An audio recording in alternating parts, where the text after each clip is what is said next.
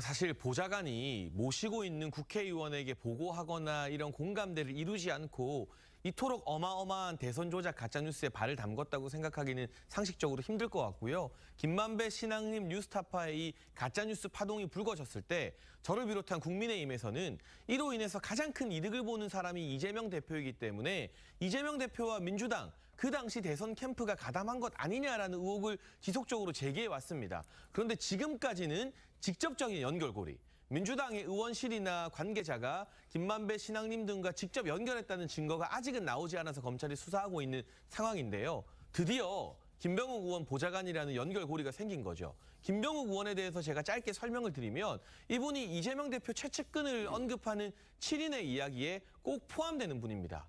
그리고 지역구가 성남 분당이기 때문에 이재명 대표가 성남 시장할 때부터 아주 끈끈한 관계를 가져왔던 최측근 중에 한 사람인데 그 보좌관이 공교롭게도 대선 캠프에서는 대장동 등 네거티브 대응을 하는 핵심 역할을 하다가 이재명 대표 입장에서 가장 뼈아픈 이 사건에 이 화두를 윤석열 대통령에게 넘기려고 하는 가짜뉴스 조작 사건에 개입된 것으로 밝혀져서 지금 압수수색 영장까지 발부되었다.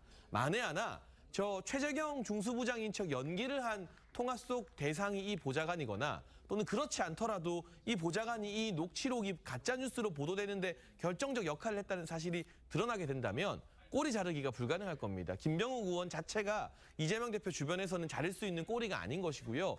보좌관 한 사람이 모든 것을 다 덮어쓰고 이 책임을 지기에는 너무나 큰 대선 조작 게이트이기 때문에 이제부터 대선 조작의 몸통이 누구인가 밝혀가는 그 첫 번째 관문이 열리기 시작한 것 같습니다. 예.